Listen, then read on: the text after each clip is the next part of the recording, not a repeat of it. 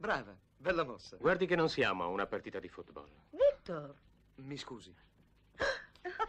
ma che succede? Ah, ho sempre pensato che Gerardo non ne capisse granché di impianti elettrici. Adesso porteranno delle candele. Scusatemi.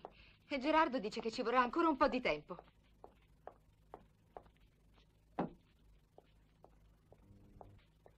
Sentite, il buio a volte è divertente, si possono fare tanti giochi.